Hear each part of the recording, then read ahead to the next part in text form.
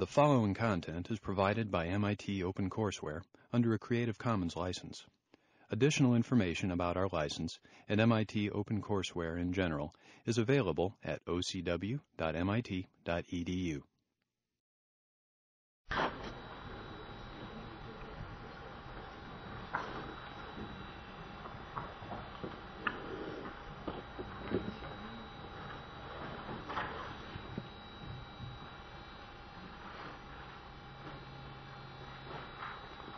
Okay, welcome back.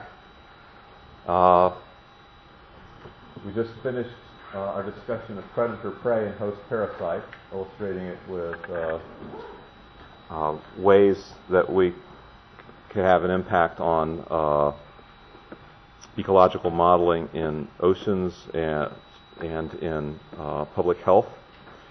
And these kind of considerations start getting us into what are the global and socioeconomic considerations. What, what kind of impact do these kind of uh, models have on how we make decisions? And in this context, I, I, I'm glad to be associated with the Genome Project as one of the first scientific projects of any reasonable scale that, that uh, had from the very start from the very first proposed uh, funding for it uh, in 1990, a, uh, a component, uh, a 3% set aside for ethical, legal, and social issue, and, or ELSI. And some of the topics that are covered by the grantees in this part of the Genome Project um, were uh, genetic non-discrimination, privacy, reproductive rights, cloning, psychological stigma that can come from maybe too much knowledge. Uh, clinical quality control, what can happen with false positives and false negatives in uh, clinical exams. Safety environmental issues such as the ones we were just talking about and some more that I'll raise. Um, uncertainties, not just due to quality control, but uh, the uncertainties in, in testing minors. Um, issues of diversity, both biodiversity and uh, human diversity. And uh, commercialization of the products. Who owns my cells when I when I give them to a, a hospital or a company to help cure me? Do they then own all the patent rights? Now, in terms of so so the underlined topics uh, are the ones the four underlined topics we'll talk about in the next few slides. In terms of non-discrimination, this can go any direction. It will go the direction the market forces push it, meaning the voters. Um, if we want to uh, pass really laws that say that if, that if George Church sequences his genome, then he has to report that sequence to the insurance company, or worse yet, the insurance company just go and get it whether he wants it or not. But on the other end of the spectrum, and I hope uh, the, the, trend, which will make it much easier for us to share our data and use our data, it, is that uh, genetic non-discrimination in Health Insurance and Employment Act was uh, adopted, uh, 1999 was introduced and passed, uh, um, which which would extend uh, employment protections in the corp- in the government sector to the private sector um, um, to the extent that that can be uh, uh, generalized. I don't know exactly where that's going, but one can hope that. Uh, I mean, clearly, we will always do some kind of discrimination based on uh, uh, genetics, which can be assessed, um, you know, such as uh, in an interview, you know, height, friendliness, that sort of things. But we, but we won't necessarily be doing it based on genetic sequence. Um, and these are tough. These are tough issues. You know, is the probabilistic nature of the decisions that you make during an interview different from the probabilistic uh, decisions you would make based on a DNA scan? Which is more accurate? Do you want it to be more accurate? Do you want it to be less accurate? So on and so forth. But clearly, the, the trend in terms of uh, legislation is towards uh, less information being used uh, for discrimination. Certainly in the insurance level. And, be, and that's appropriate in insurance uh, because, in a way, that's supposed to be a, a uh, process by which risk is shared. So the issue of races. Typically, races, uh, uh, some people feel this is a scientifically rigorous definition, others do not. Some feel that it involves, you know, very, you know, very broad strokes. Uh, in, in other uh, organisms, at least, it can it can cover fairly detailed um, bottlenecks in populations. But in any case, um, there are elements of population structure which certainly are important, whether you ascribe it to the major races or to um, uh, you know, minor, uh, smaller populations. And examples here, we've already talked about hemoglobin variants uh, evolved to resist malaria. Is going to be one of the themes today. Um, uh, and as with the, was a skin pigmentation, the pressure of the environment to develop a group-wide trait was powerful and uh, and can can involve a very small number of genes. You get founder effects where a where a particular population um, is highly enriched for a particular disease, such as Huntington's, in the case of the uh, Lake Maracaibo in Venezuela, or Tay-Sachs in, in uh, some Jewish populations. So when you have these well isolated populations, I think you can see in the population genetic literature how they can be used uh, in, in various ways. But overall, and at sort of at the broadest level, um, we all share uh, a large set of commonly acquired um, polymorphisms. And even within the smallest subpopulation, it still behooves us to look at the details, the individual variations in DNA sequence and the haplotypes or genotypes. I have two danger slides in a row. Uh, I could probably come up with quite a few more, so could you. But one of them is, you know, this is really a, a very strong advocate for, for modeling. I mean, it's, it's totally anecdotal. Slide itself is non-scientific, historical. But this is one critic's view of uh, the huge influence that Lysenko had on genetics and biology in the Soviet Union um, from the early days of the revolution. And his uh, real uh, pet theory was the inheritance of acquired characteristics. And there's nothing intrinsically wrong with, in broad strokes, the inheritance of acquired characteristics. Uh, it's not certainly not common biological phenomenon. And at the time, uh, it was it was uh, not, it was not helping their biology progress at the same rate as the rest of the world, which was mainly pursuing the Mendelian inheritance um, models. And this critic, in quotes, uh, felt that his habit was to report only successes. This is a really feel-good habit, and his results were based on extremely small sample sizes, inaccurate records, and the almost total absence of control groups he made an early mistake in a calculation which caused comments among other specialists in his field and made him extremely negative towards the use of mathematics and science. You know, making mistakes should not, you know, cause you to um, drop the use of mathematics and science. Hopefully, those of you, hope, probably everybody in this class has made a mistake in mathematics, and hopefully none of you will drop mathematics in your future biology. And uh, the second danger is the danger of ethics-free science. I think this is a truly remarkable uh, story that uh, in 1979 there was a release of anthrax 836 spores in uh, part of the former Soviet Union. Uh, and uh, a few years later, uh, actually 1999, this book was published uh, describing what was behind that. What was behind that was decades earlier, in 1953, there was a leak uh, in one of, I guess, in one of their uh, anthrax developments, and in 1956 they found that one of the rodents that they captured in their routine uh, surveys of the sewers, searching down uh, possible anthrax, that uh, they had actually a strain had become much more virulent than the original that they were working with.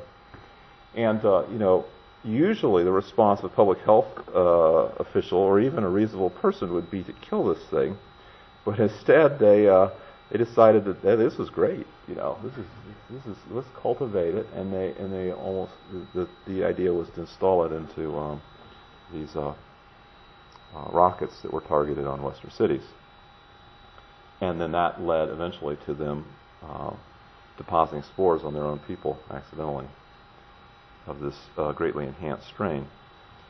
So the question, you know, to to our community as, as genome engineering tools get easier and easier, where you basically can sequence genomes inexpensively and even synthesize genomes inexpensively, and much of this is going to be in the public domain.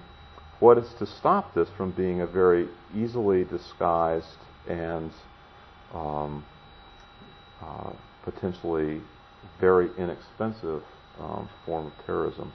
And part of that is that you know, we do what we can do to improve either detection tools or genome engineering tools to make them um, more of a defense type than uh, offense.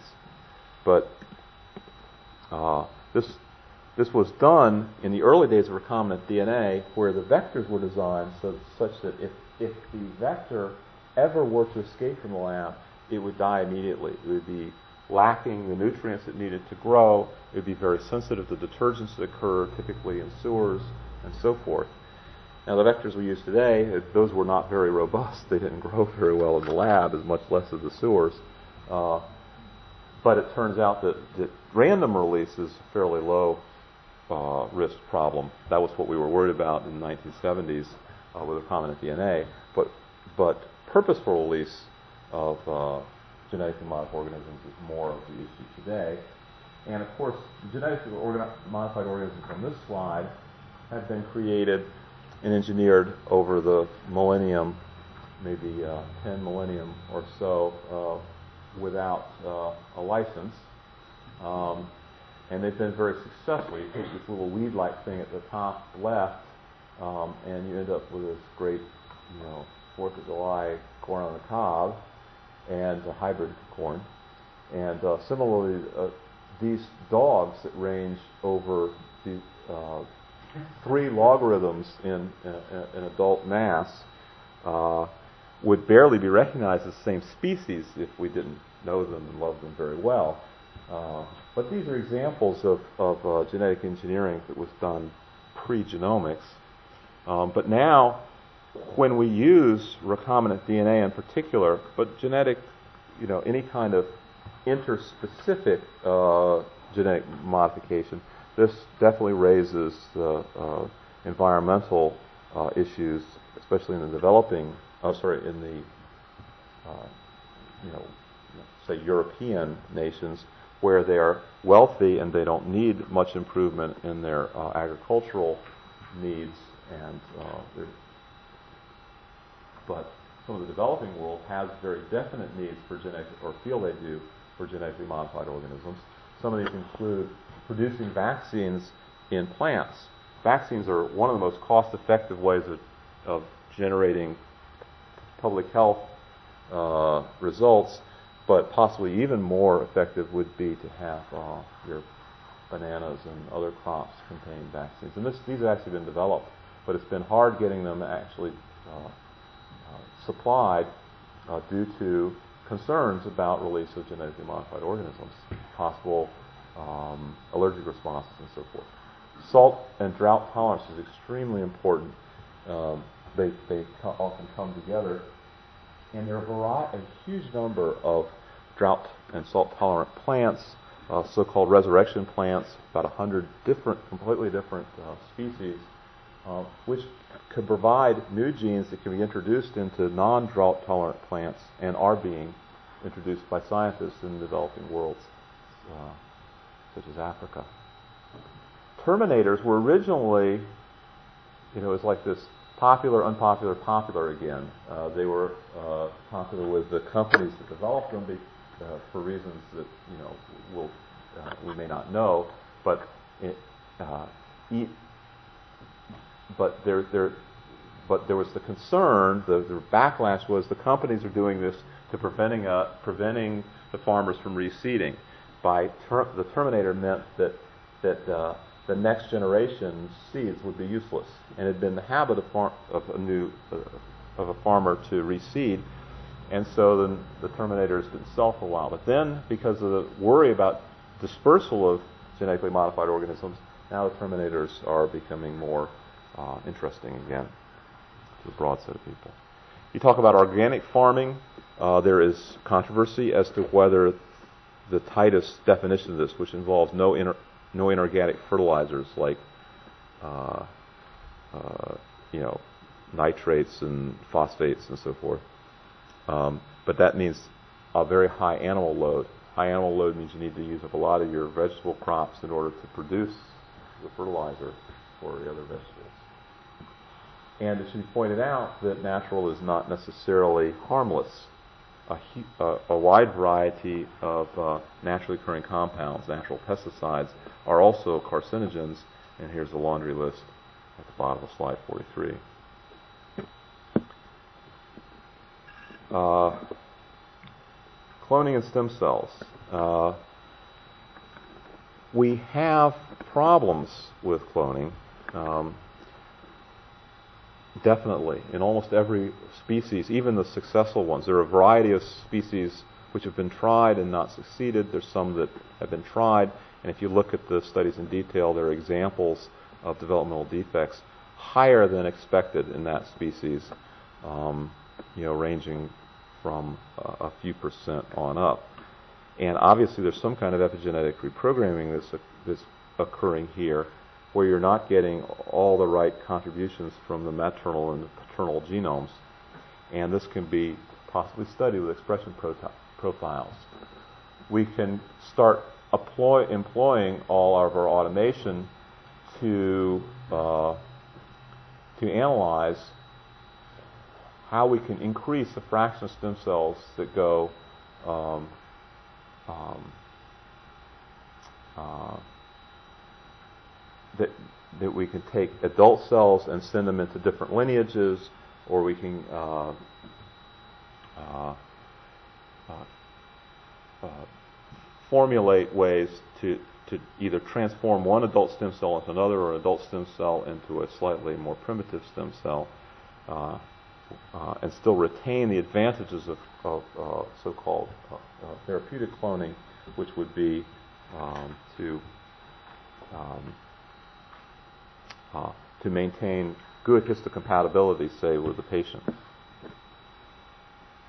So finally, education. Why should we bring up education in a course? Uh, we've talked about models of decision making in public health. Um, and, uh, but there's also a similar set for uh, education. We want to be able to deal with uncertainty, complexity, quantitation. I'm sure that I have introduced, or we have introduced, plenty of uncertainty, complexity, quantitation in your lives with this course. I apologize for the parts that are painful. I hope that no pain, no gain has some applicability here. Uh, we want to, a theme in this course has been to uh, cherish your exceptions, collect them, and, uh, and these can be discoveries. They are at least going to keep you honest and keep you from making uh, um, big mistakes. Uh, we want to be able to, to uh, translate from one data type to another, from one conceptual foundation to another, to integrate different, either adjacent conceptual spheres or very distant ones. When we do this, slide 47, we have we need to have measures of our progress, measures of the quality of the underlying data and the models. And uh, we've already done this uh, to some extent, basically for, for three-dimensional structures and sequence data, the prim- primary and tertiary information. Uh, for uh, X-ray diffraction, this dates back into the 60s. We have measures of data quality include resolution, uh, model quality, which is the R factor we talked about before. We have ways of doing similarity searches. For sequencing, a more recent enterprise, sort of in the 80s, late 80s, early 90s, we got the Genome Project pro- launched with uh, thoughts of measuring data quality in terms of discrepancy per base pair. That should be less than one part in 10 to the fourth. Uh, the models typically are models of protein conservation, and a similarity search is one of the greatest uh, killer applications of all times, which is BLAST. And then for function, we're uh, less far along. Uh, we don't really have accession numbers, as I said. We don't really have uh, uh great uh, ways of doing similarity searches through, say, image databases or similarity searches other than, say, correlation coefficients. But I think this is rapidly changing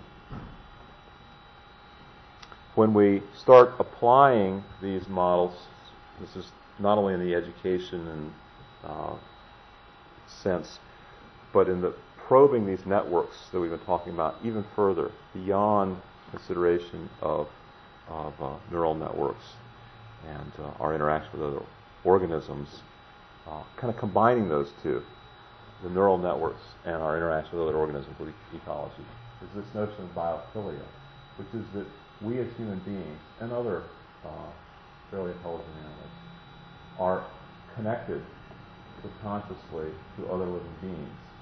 Uh, it is clear that no matter how urban or what culture you're talking about, snake dreams figure in very prominently. And this has to do with the need of primates to avoid and track snakes in their vicinity, in the vicinity of the tribe. Little animals are cute. We just know that. Uh, and they're much cuter than the adults, no matter what the animal is, with possible exception of snakes. And, uh, and it is, it, you know, there are there are, you know, uh, anecdotal at least, possibly well characterized uh, effects of the fr- green fractals that we like to see trees and shrubs. And taking this one step further from just this, this kind of very stimulating thought that we actually have co-evolved, our nervous system has co-evolved for so long with these other things, it would be natural for us to be very attuned to them because our survival would have depended upon our ability to avoid snakes and to deal uh, with um, green versus brown shrubs. And uh, if you take that one step further, many, much of what we do in the humanities, say, um, is affected our aesthetics and our approaches to it and our beliefs are affected by this heritage. And this is what E.O. Wilson has championed, and I, would say it's quite controversial, as it should be. Um, but in general, long separated fields come together, this is the consilience definition, and they create new insights like uh, chemistry and genetics, brings us molecular biology. And the question is, is all of human de- endeavor ready for such a thing, from religious feelings to financial markets and so on? And if and whether or not, how might genomics and computational biology contribute? It's surprising sometimes when these things when things do contribute. And here's some speculation on that. We have improving imaging methods. We talked about imaging in the context of in situs. Uh, some very functional uh, versions of this are positron emission tomography and magnetic resonance imaging, which allow you to, to monitor such things as blood flow, or uh, metabolic uptake uh, in, in uh, different parts of, a, of an actively meta- metabolizing brain. And here you can inject um, some uh, O15 labeled compound, and you can get an image resolution on the order of 9 millimeters. Okay, so the, the voxels here, volume elements, um, are, are, not are uh, limited in that range. And sort of in the 20 seconds uh, is sort of the time frame that you're working in. And this has been applied to a whole variety of interesting uh, behavioral tasks. Um, almost anything you can think of, counting, memory, so forth in humans. And you can map the parts of the brain that are differentially uh, responsive to a control and an experimental time frame for the same patient and the same apparatus. And here, this is just to show you how far it can go and connect to what we were talking about on the previous slide. Here, uh, re- religious subjects, patients, have been um, the, the, differential uh, parts of the brain monitored here um, are in a religious recitation process and in a resting control. And these are all the um, p less than p to the 0.001 um, significance by the, the you know very complicated uh, uh, statistics that are used in the uh, analysis of these functional maps. Now, not, not to leave us on that note, uh, but to connect it more to genomics and uh, computational biology, as is you know more in the heart of this course. Uh, here's an example of how magnetic resonance imaging, uh, uh, which can be applied to gene expression. How we bring these two together, kind of imaging, gene expression. And one of the powers of this in contrast, the positron emission tomography had about a, a 9 millimeter resolution. This has a 10 micron resolution, sort of in the optical resolution range. But unlike optical uh, methods, this will work for intact opaque organisms. Uh, and finally, so MRI will do that in general, but to connect it to gene expression, you need to tag the gene expression such way. And we know we have green fluorescent protein, we have you know other colors, fluorescent proteins we have, luciferase, beta galactosidase, and so forth. One of those has to be turned into something that has sufficient contrast in magnetic resonance imaging.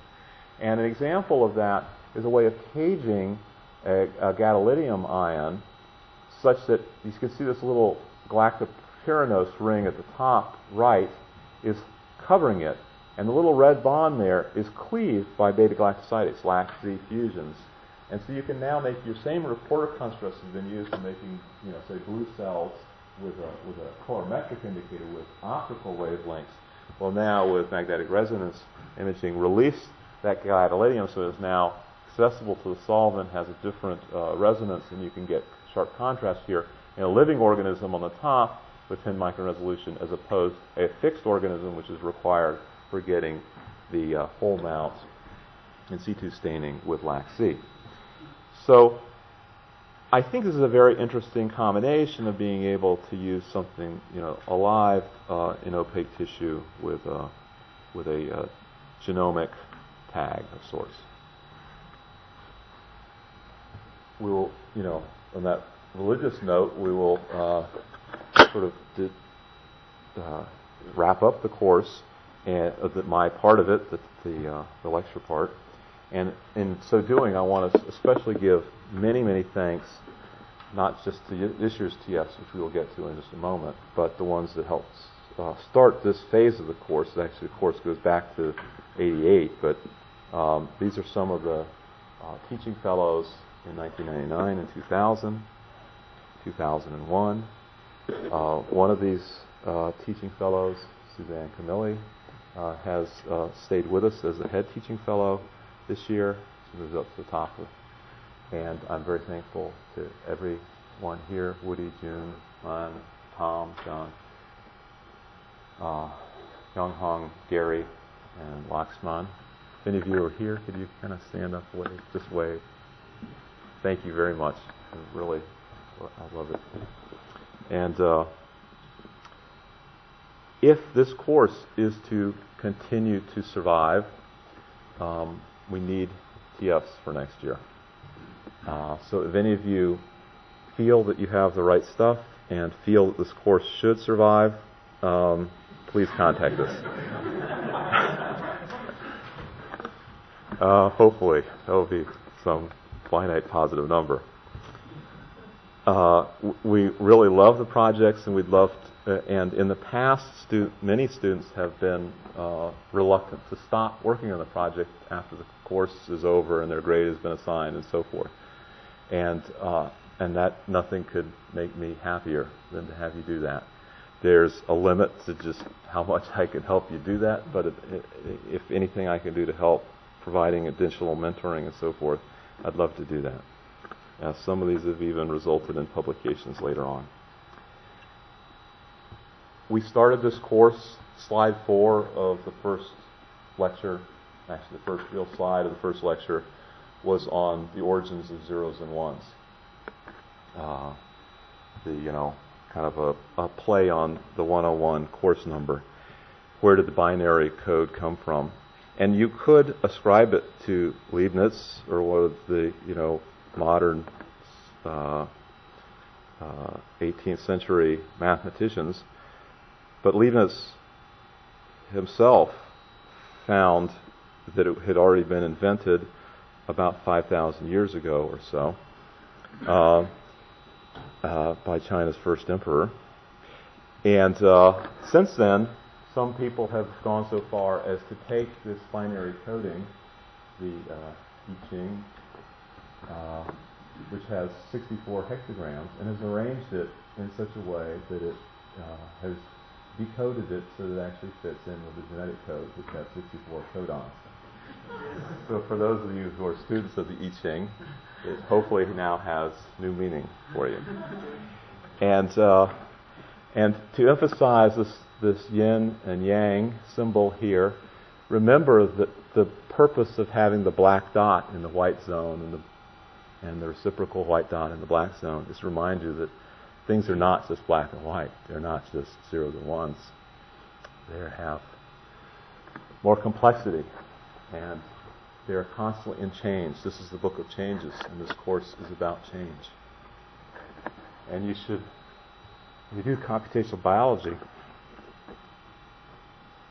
it's not just about computation. It's not by keeping yourself busy at the computer, keeping your computers busy all the time. It's about thinking, thinking as broadly as you can. So, thank you very much.